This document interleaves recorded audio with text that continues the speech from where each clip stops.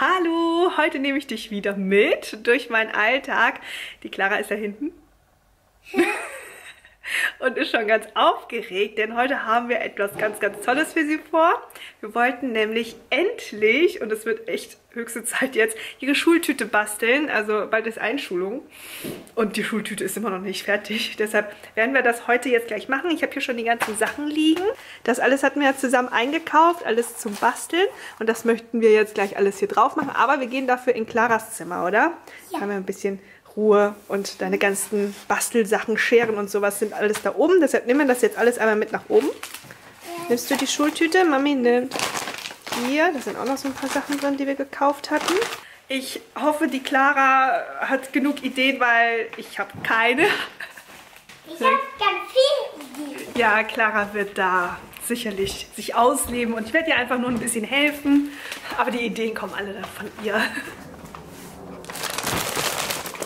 Und wir nutzen natürlich auch gleich ihren richtig tollen neuen Schreibtisch. Da haben wir jetzt viel Platz dran. Ich glaube, Mami holt sich noch einen Stuhl von Johann oder so. Dann kann ich auch hier dran sitzen.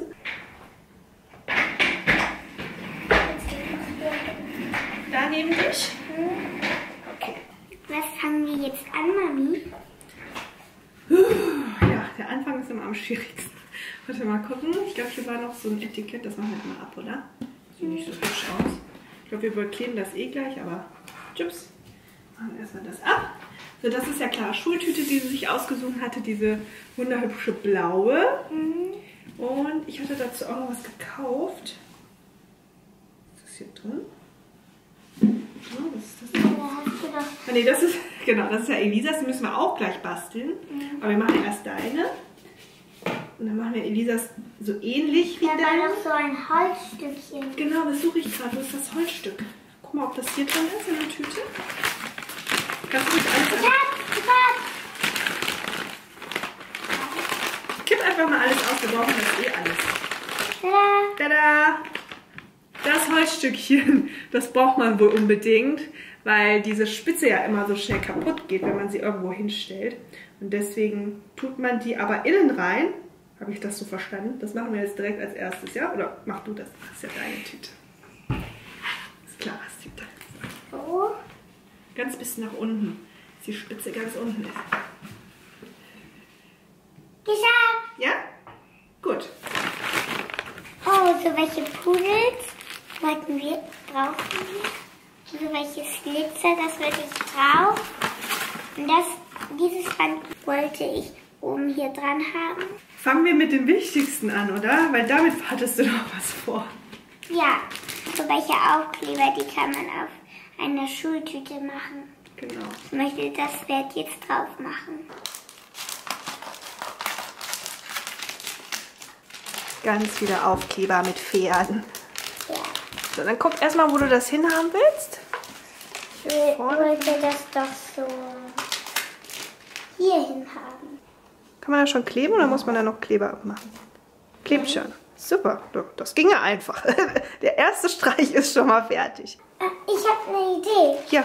Wir, wir wollten doch sowas nehmen und das hier doch den Pferd hier übermachen. Das kannst du Dann gerne machen. Mach das mal. mal Hat er noch so einen Blumenhaarkranz. Das sieht ja bestimmt schick aus. Ist das gut? Wirklich schick. Bist du zufrieden? Mhm. und ähm, Brauchen wir noch so eine Taille? Oha, das Fett wird ja ordentlich geschmückt. Und guck mal, welche Farbe möchtest du noch als Blume? Dann machen wir mich schon mal weiter. Ich möchte äh, Gold. Gold als Blume? Ganz viel Glitzer haben wir heute hier. Danach ist der ganze Schreibtisch voller Glitzer. Und wir wollten daraus auch ja noch ein Hufeisen machen aus dem Gold. Weißt du noch? Mhm. Dann machen wir ja auch so ein Fett rein. Okay, ich versuche mal ähm, dieses Hufeisen nachzumachen. Oh je. Bastelt meine Freundin eigentlich auch einfach so ein, eine Schuhtüte? Das weiß ich nicht. Manche kaufen die auch einfach. Hab eine Blume. Eine Blume schon fertig? Mhm. Tada! Eine Blume können wir schon mal gleich aufkleben. Alles gut? Ja. Nur ein bisschen durstig. Oh, dann mache ich dir gleich was zu trinken. Mhm. Okay. Hufeis. Das ist ein Hufeisen. Ja? Kannst du gleich gucken, wo du das hinkleben möchtest. Mhm. Oben, da an der Seite oder so. Das ist schon mal fertig. Gut. Habe ich eine Sache schon mal geschafft. Oh, meine Hände sind voller Glitzer. Ja, das ist bei mir auch schon.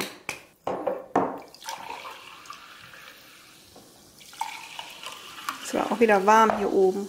Wir haben jetzt gerade noch weiter gebastelt hier mit diesem goldenen Papier, weil das so hübsch aussieht. Da habe ich jetzt einmal so einen Streifen einfach rausgeschnitten. Den wollen wir jetzt einfach da drauf kleben. Ich glaube, das sieht ganz hübsch aus. Man kann das ja einmal kleben. Machst du einen Klecks? Ein bisschen drücken in der Mitte. Genau, und jetzt verteilst du diesen Klecks in alle Ecken.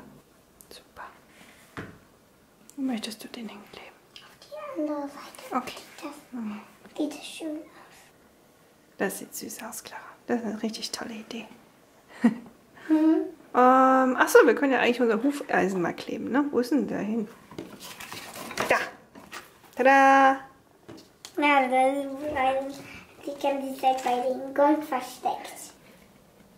Okay. Schön. Ja? Bist du zufrieden? Mhm. Und so müssen wir eigentlich Elisas machen. Damit sie sich freut. Dann hat sie auch so eins. Genauso wie die große Schwester an der Einschulung. Dann Elisa ist auch mit Elisa das hier. Mhm, okay. Ich glaube, ich bastel noch ein paar Blumen, Clara. Wir haben ja noch so viel buntes Papier besorgt. Sieht nicht aus wie eine Blume, sondern so ein Schmetterling. Eigentlich fehlen da nur noch so zwei Flügel. Wollen wir das mal machen? Wollen wir daraus einen Schmetterling machen, Clara? Ja. Dann mache ich noch zwei Fühler und dann haben wir hier einen Schmetterling. Ja, Schmetterling. So, jetzt habe ich Lust, noch einen Schmetterling zu machen. Der ist mir ja so gut gelungen. Ja, noch ein Schmetterling. Der ist mir so gut gelungen. Sollte eigentlich eine Blume werden, naja. Wo sind die Buchstaben? Die Buchstaben sind hier. Ich habe nämlich, Clara, so ein Buch hier besorgt.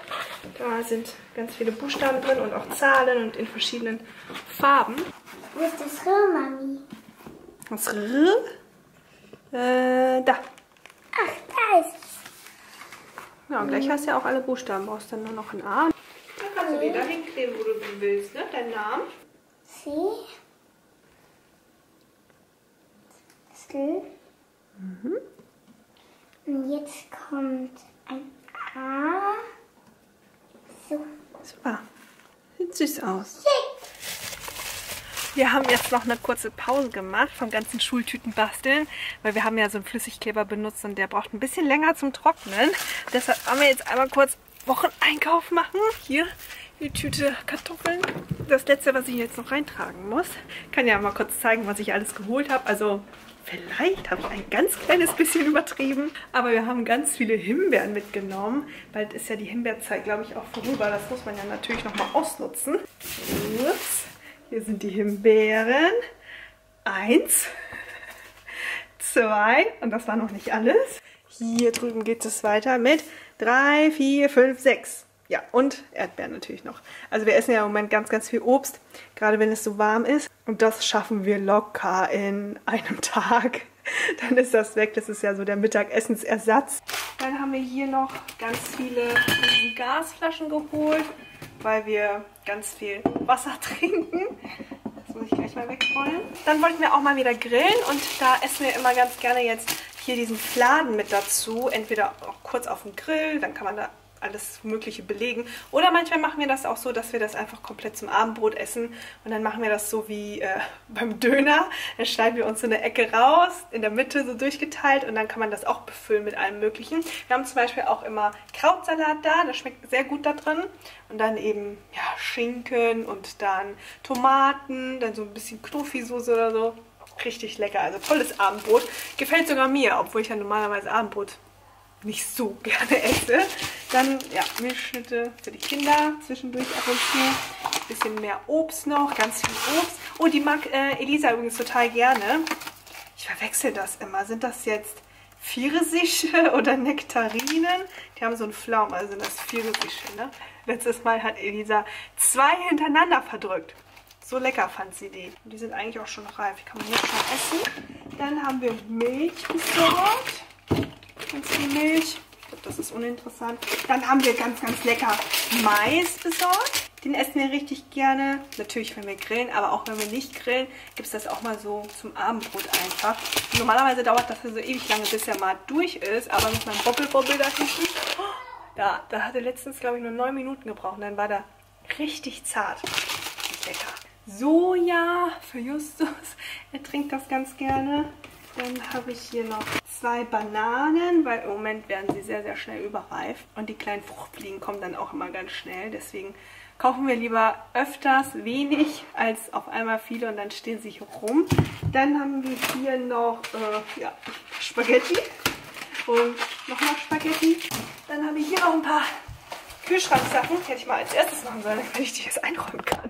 Hier auch wieder Milch, dann Tiefkühlgemüse, so wie immer so eine gemischte Packung mit ganz vielen verschiedenen Sachen. Auch ganz toll für gebratenen Reis. Johann wird sich freuen. Dann habe ich hier wieder Aufschnitt, Salami, Schinken. Äh, ich dachte gerade, das ist auf. Das sah gerade so aus, als wäre das auf. Aber alles gut. Heringssalat, so wie immer, das kennst du auch schon. Und hier nochmal diesen Fleischsalat. Das mag ja Justus total gerne. Er mag den am allerliebsten, den es dort gibt. Würstchen, entweder auch einfach so zum Essen oder eben auch auf dem Grill. Alles gut, Clara? Clara? Ja. Alles gut? Ja. Okay, ich dachte, ich habe es irgendwie gehört. Hier dann wieder äh, unseren geriebenen Parmesankäse, der eigentlich gar kein Parmesankäse ist, meinte jemand zu mir. Aber er schmeckt so und schmeckt uns ganz gut auf Spaghetti Bolognese. Deshalb kaufen wir den immer nach. Und Kartoffeln im Hintergrund hast du eben schon gesehen. Das war's. Ganz schnell. Im Moment kaufen wir nicht so viel zu essen. Weil wir eben mittags auch nicht mehr so wirklich kochen. Aber ich glaube, wenn das Wetter wieder so ein bisschen kühler wird, dann ähm, kriegen die meisten auch wieder Hunger zu Mittag. Letztes Mal meinte jemand zu mir, ich könnte doch mal meinen Kühlschrank sortieren. Es gibt wohl so eine Kühlschrank-Challenge oder so, wo man das dann so hübscher macht. Ja, könnte ich auch vielleicht mal machen. Ich schmeiße immer nur alles rein. Und irgendwie passt das dann immer schon. Warum sind denn hier Getränke drin? Guck mal, was man hier alles findet. Ich glaube, die Kinder haben das reingetan. Das sind so Getränke, die nehmen wir dann immer für unterwegs mit. Weil zu Hause haben wir unsere Sprudelmaschine. Da brauchen wir das eigentlich nicht.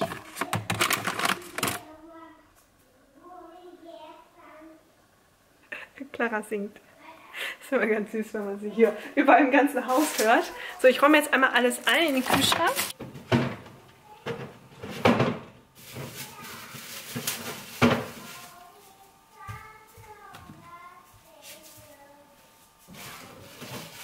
Kühlschranksachen habe ich jetzt alle drin. Also die Himbeeren werde ich jetzt auch in den Kühlschrank tun, weil da sind ja auch manche Fruchtfliegen immer drin.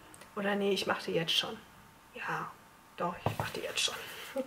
Ich sehe jetzt schon mal zum Waschen. Große Schale. Guck mal, zwei Schalen und schon ist die ganze Schale hier voll. Jetzt sind wir fertig. Jetzt kann ich dir einmal das Endergebnis zeigen von Claras und Elisas kleines, ja, Dupli Duplikat, nennt man das. Ist auch schon fertig. Und Clara, willst du einmal zeigen? Mhm. Deine fertige Schultüte. So, hier hat Mami so eine Schleife hingemacht. Mhm. Komm, nimm sie mal so richtig in die Hand, so wie du das dann an der Einschulung tragen wirst. Schick. Sieht schick aus. Gefällt sie dir, Clara? Mhm. Ist so geworden, wie du es dir vorgestellt hast? auch noch ein Schmetterling. Genau. Hinten haben wir jetzt nicht so viel gemacht. Aber Hauptsache vorne, ne? wo man das dann auch sieht. Das hier ist Elisas. Also eigentlich fast genauso wie Claras. Auch mit dem Hufeisen, dem Pferd und dem Namen. Und der kleinen Schleife unten. Ich glaube, das sieht ganz süß aus, wenn wir dann damit zusammen zur Einschulung gehen.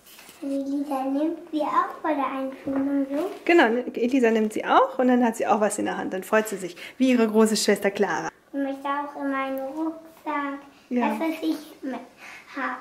Ja. Möchte wie immer. Genau, du bist ihr großes Vorbild, ne?